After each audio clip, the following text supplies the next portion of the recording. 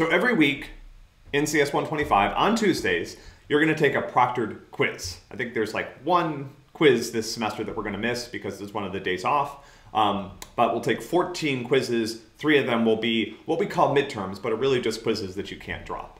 Um, here's how this is going to work. So you're going to go, the first thing you're going to do is you're going to log on to Zoom. We'll provide more instructions about the Zoom call to join um, on the forum.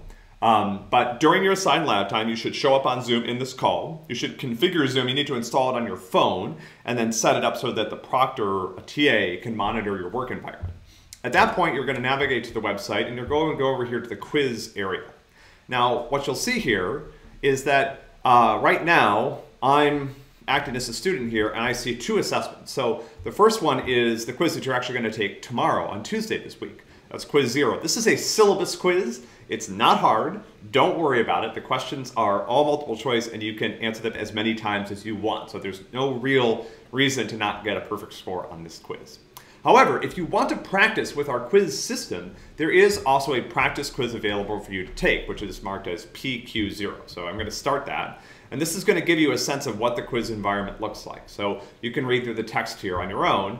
Um, our quizzes comprise two types of questions. We have programming questions. Um, these are small programming problems similar to the homework problems that you'll do on every lesson, except um, in a quiz environment. Um, so here's an example. Uh, I can submit this. The programming questions on the quiz you can typically submit as many times as you want, except for the fact that, as you'll see over here, the quizzes are time limited. So at some point you're going to run out of time and the quiz will close.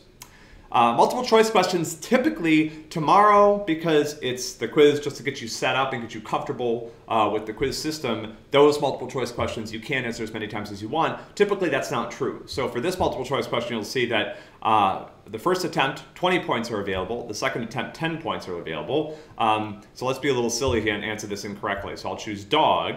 Uh, that's not an animal that starts with an A. That's incorrect. And so you'll see I didn't get those points.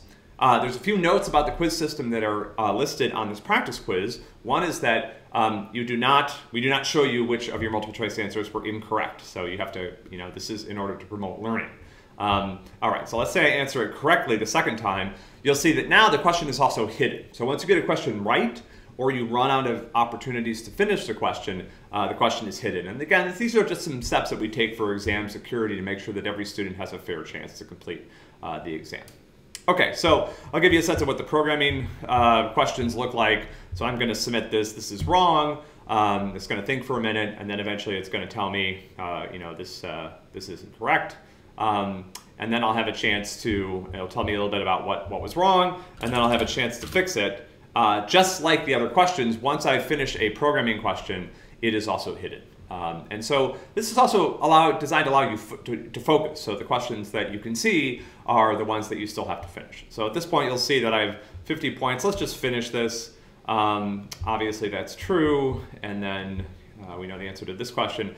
Once the, you finish the quiz, so either two things happens. You run out of time, or you've earned all the points that are available to you. So if you get some multiple questions wrong, those points are no longer available to you. But at some point, if you have the maximum number of points that you can earn on the quiz, it will close automatically. And you'll see that that just happened. So now I'm back at the quiz page. Now, when you take a proctored quiz, you'll see here that I can't start this assessment yet. There's no start uh, button. This is because it hasn't been unlocked by a TA. So when you take a proctored quiz, you're gonna have to wait for the TA to unlock the quiz for you. Once that happens, you hit this button and you can start the assessment and the time will start. Um, so that's how that works in the proctor quiz environment. So you'll get some practice with this on Tuesday when you take your first uh, quiz, which again is kind of a silly syllabus quiz just to get you comfortable with the quiz system. Uh, and we'll post more details about the Zoom call that you need to join on the course forum.